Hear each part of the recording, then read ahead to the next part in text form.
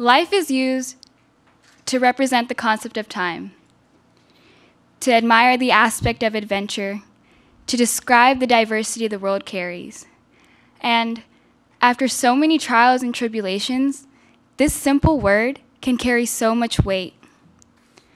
A life with more losses than gains, a life with the absence of parental figures, a life with the endless questions of how you're going to make it the next day, isn't the ideal life of a teenager nor a child.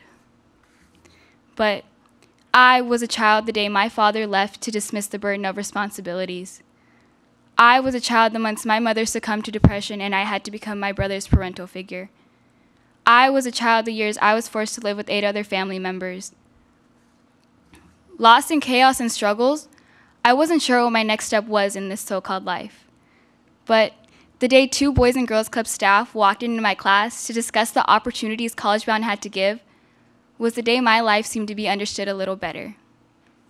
So I attended College Bound that day, and the site director at the time sat me down for an interview and asked me, What is the club's mission, and how has it impacted your life?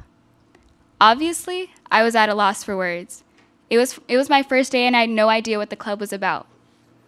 But as I took a look around and I saw the carefree expressions on the members' faces, and I felt the comfort that radiated off of every staff, I found the answers I was looking for.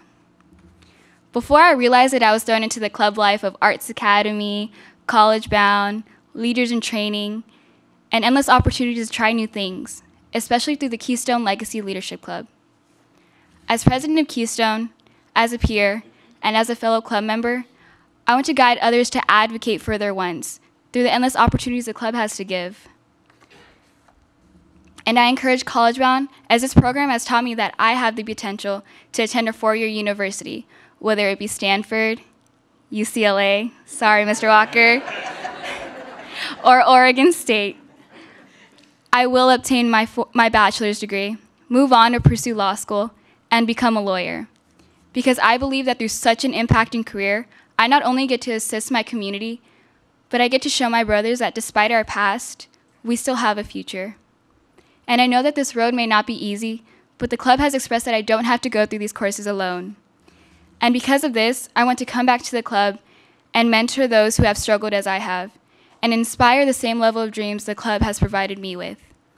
And for the past three years, the club has, has, has applied its mission into my life by helping me reach my full potential no matter the circumstance.